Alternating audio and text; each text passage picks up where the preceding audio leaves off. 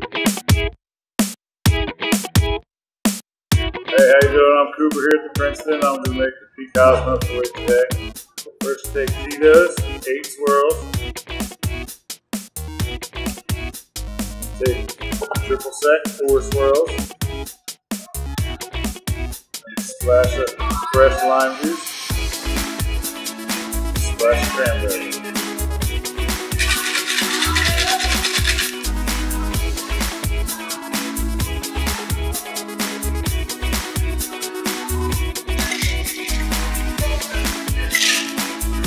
Yeah.